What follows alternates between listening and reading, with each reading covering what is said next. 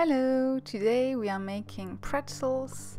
The German word for these are br brezel with a B and not a P, so I'm always confused when I see the English word. Why am I talking about German versus English? Well, because I have the German brezel in head when I'm sculpting these. For one, because I'm making these for a German customer, and also because I've been I've been born and raised in Germany, although I'm not German.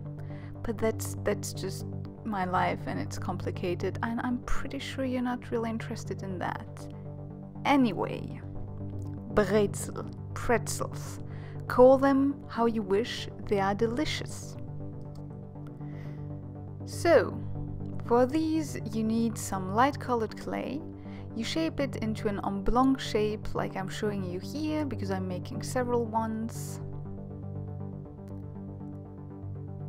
And then you round it up in a circle, you twist twice and then you put on top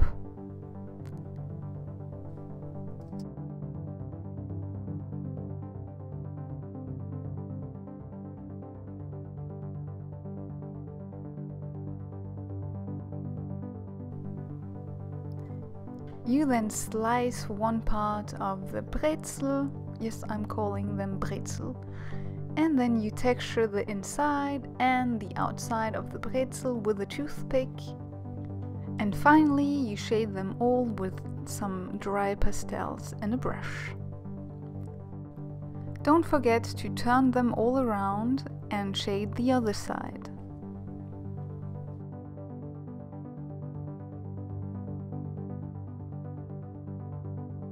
Make as many as you want and then bake. After baking and cooling off, I added some extra acrylic paint.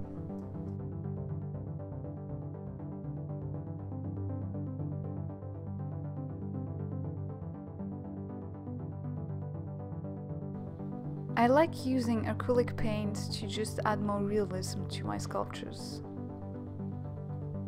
And then I prepared the salt for that I mixed some white and a lot of translucent clay and now I'm just chopping off everything in very tiny bits of what is going to be salt.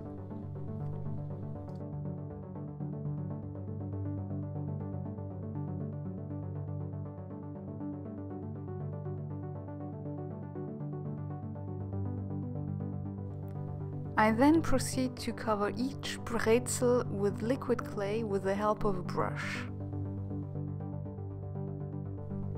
I then simply dip the brezel in the salt and then using a toothpick I'm adding and removing the salt grains a bit so it looks a little bit better and not completely random.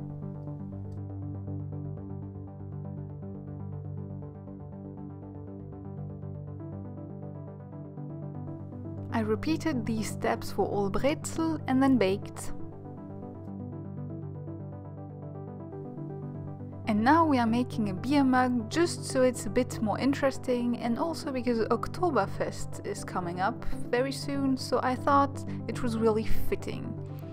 And well, you know in Germany you usually would drink some beer with your brezel so it makes sense.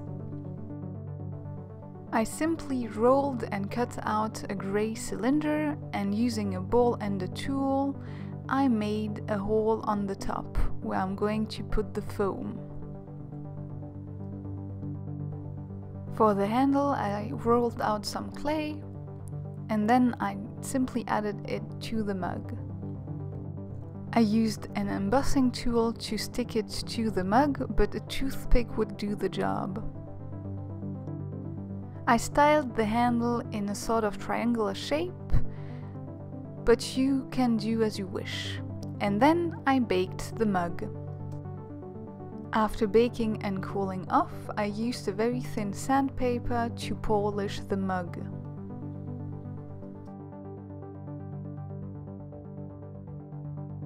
And then with some acrylic paint, I just painted some random floral shapes on top of the mug. I used reference pictures of traditional ceramic beer mugs that you can find in Germany, and they're usually a grey base with some blue coloring or blue decorations on top. So the flowers or the flowery shapes are the easiest ones, but sometimes you have tiny men and things like that, so you can go for that as well. Don't forget to paint all around and be my guest and make it pink if you prefer pink, it doesn't really matter.